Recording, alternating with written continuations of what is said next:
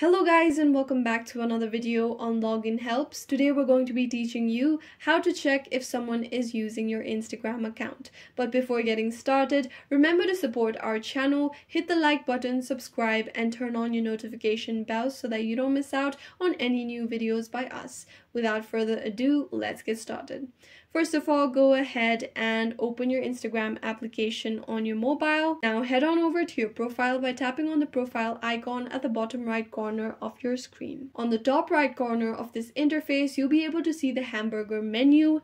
Tap on it go ahead and visit settings and privacy. Under settings and privacy, select account center and under account center, you'll be able to see password and security. So where to find out if someone else is using your Instagram account is to see where you're logged in.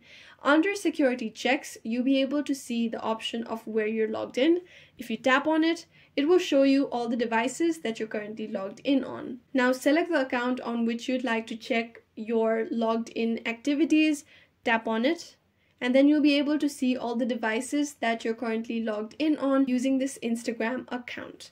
If you go back, you'll be able to see if you have any unrecognized logins. You will see this error message, and on the error message, you'll also see review devices in blue. Tap on it, and this will show you all the unrecognized logins that you have on your Instagram account and if you see any unrecognized logins on a device that does not belong to you then it may be an indication that someone is using your Instagram account. After that you may need to adopt on some security measure to make sure that you have a strong security for your Instagram account and I hope this video was useful. If you have any questions let us know in the comments down below and thanks for watching.